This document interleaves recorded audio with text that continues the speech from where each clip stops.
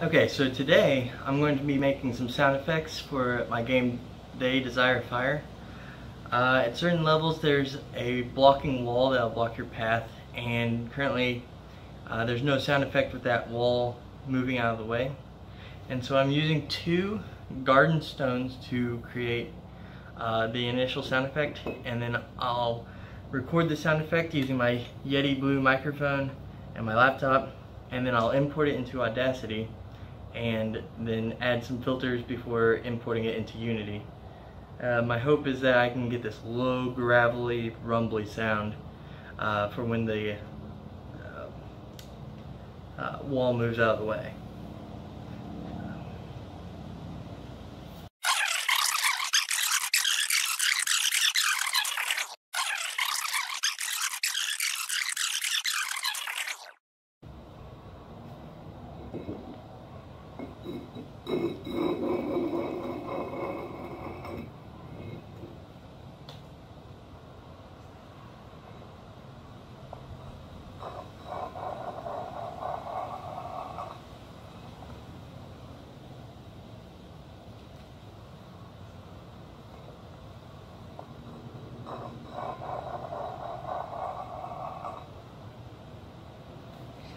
Good. I'm going to do one more track and we'll choose our best in Audacity.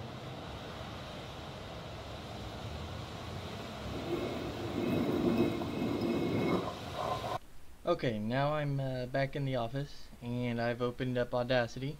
So let's take a look. I, I've got my two sound effects here. I've got wall 1, wall 2. Um, let, let's listen to them.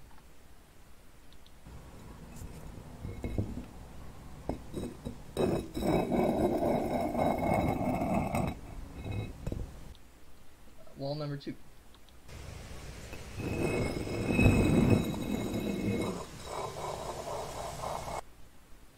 And that one kind of cuts off. So, I'm going to go ahead and save number two. But I think I'm going to work with number one. So where does that one start?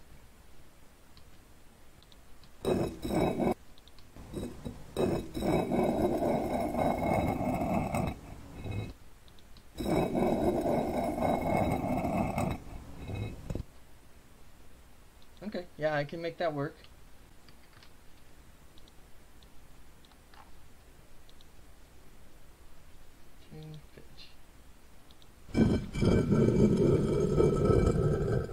Ooh, that's good. That's good right there.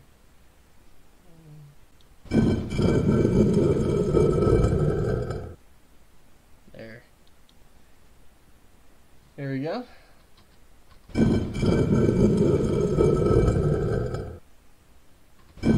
Going to add a little bit more of a fade out.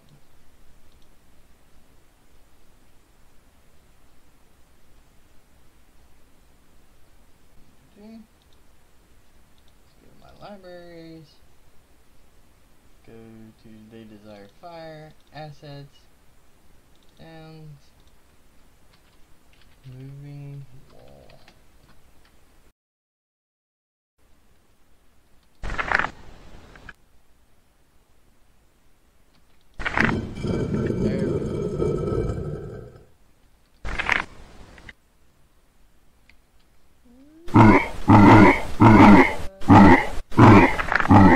It's bad when you can't beat your own game.